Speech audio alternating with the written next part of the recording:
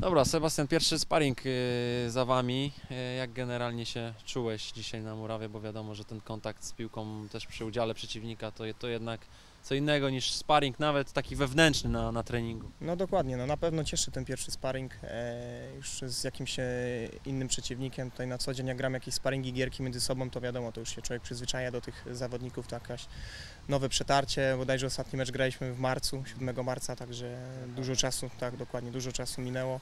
I to na pewno cieszy, jesteśmy zadowoleni. E, wynik 4-0, e, gra może jeszcze nie taka jaka powinna być, ale jeszcze mamy troszeczkę czasu do ligi, e, także na pewno jeszcze będziemy pracować nad tymi mankamentami i będzie wszystko w porządku. No, Liga wcześniej też puchar ruszy. Duże nadzieje sobie wiążecie z tym pucharem, bo jakby nie patrzeć, to jesteście no, w gronie faworytów, a może nawet największym faworytem, żeby ten puchar zgarnąć. E, No wydaje mi się, że tak, że fajnie wygrać ten puchar. Przede wszystkim to jest jakiś też bodziec finansowy, e, jakaś tam premia na pewno wpadnie dla zawodników. No i fajny zespół może przyjechać.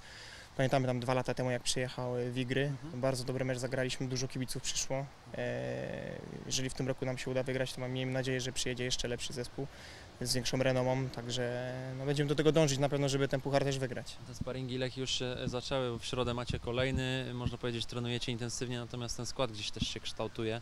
Jak to wygląda, jeżeli chodzi o Twoją osobę, bo wiadomo, że jest taki mały znak, czy może nawet duży znak zapytania przy Twoim nazwisku na ten moment. E, To na razie nie chcę poruszać tego tematu w, w tej chwili. No, Są tam jakieś negocjacje, na czym to stoi, to ciężko powiedzieć.